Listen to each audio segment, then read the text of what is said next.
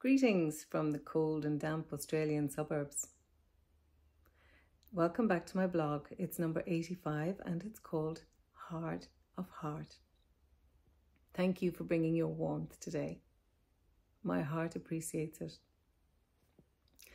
Life has a way of reminding us of the mistakes we've made and the path we foolishly followed in our younger years. Last week, I got such a reminder when my doctor informed me that a recent scan revealed the damage caused by my past life. I was young and invincible then. I thought hardening of the arteries only happened to old people. And here I am, older now, and facing the fact that I wasn't invincible after all. Apart from the damage caused by smoking, drinking, and poor diet, there was also a lot of anger and resentment. I have no doubt that the latter two things also caused a hardening of my heart.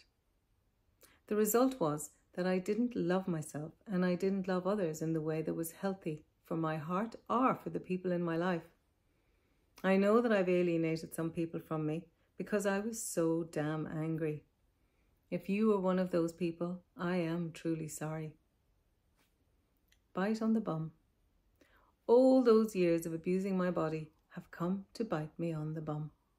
People often tell me that I don't look my age, and until last week, I took that as a sign that my body was coping okay with the hammering that I gave it from a young age. Not to mention subjecting it to the biggest sins of them all anger and stress.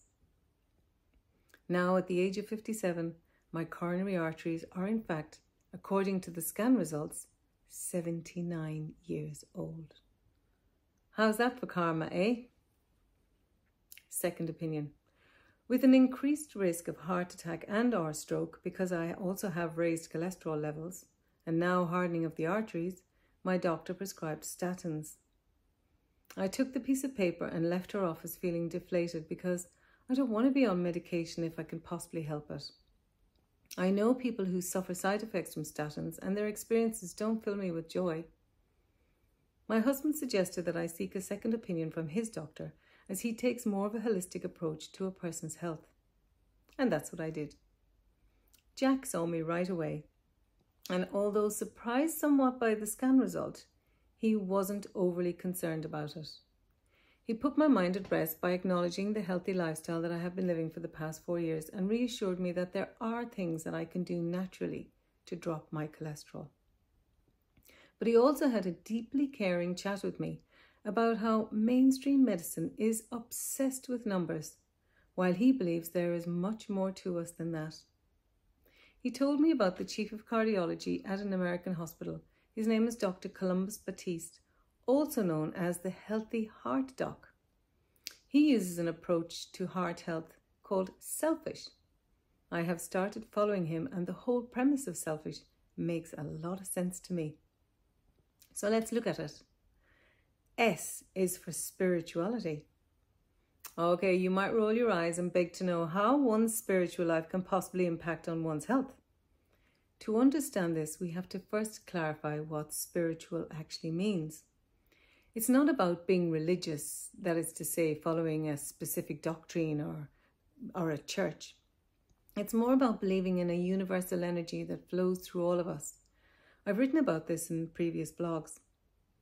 Living a more spiritually connected life involves being more in the present and practicing meditation. It's important to understand that when we quieten the mind and the body, we calm the nervous system and help the body to heal. There have been many studies done that demonstrate the connection between meditation and a reduction in, in, in inflammation. And there are strong links between inflammation and all sorts of diseases. Is it simply a coincidence that only one letter changes the word from medication to meditation. E is for exercise. Suffice to say, use it or lose it. I also love the endorphins that the brain releases as a thank you for moving the body. L is for love. When I feel love, it warms my heart. It's not just one way either. When I conjure up feelings for love for others, I feel a calmness in my heart. As my husband always says to me, the most important thing in life is to love and to be loved. Given that the act of love has a positive impact on the heart, it is no surprise that a cardiologist would prescribe it as part of our heart maintenance routine. F is for food.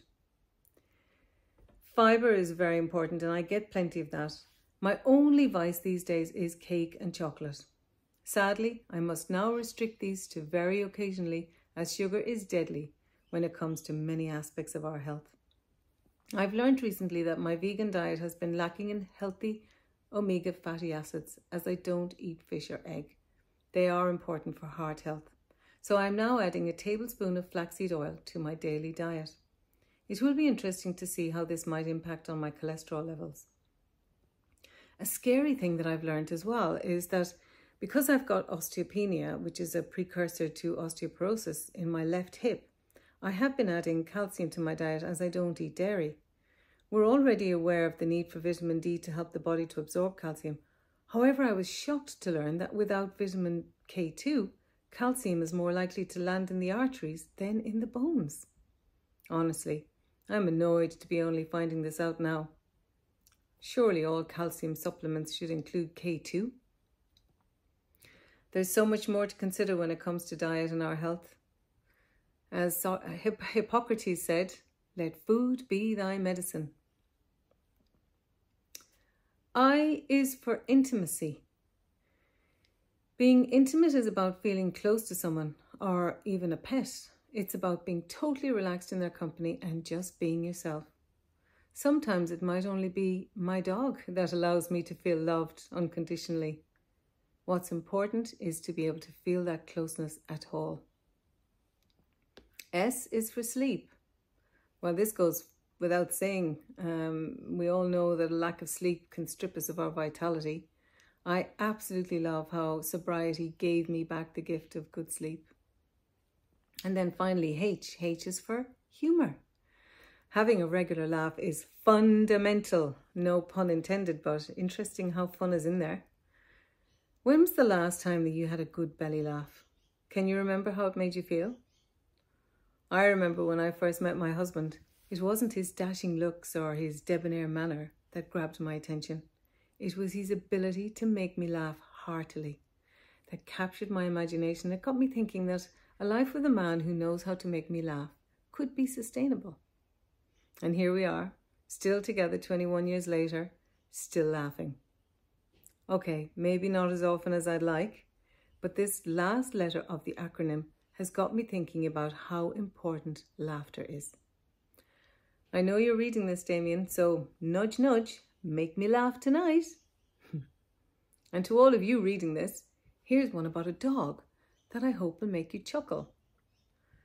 So Patty says, Mick, I've been thinking about getting myself a Labrador. Ah, feck that, says Mick. Have you seen how many of their owners go blind? Positive twist. There is a positive twist to the story of my life so far and it is that my heart is definitely softening.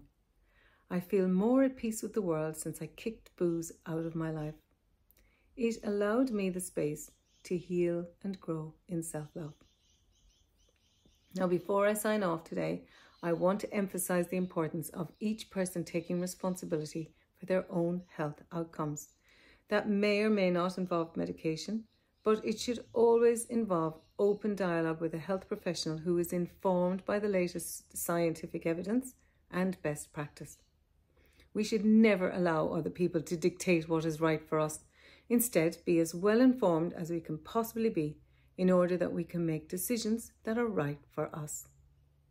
It's often hard to know what's right for us with so many conflicting op- opinions out there.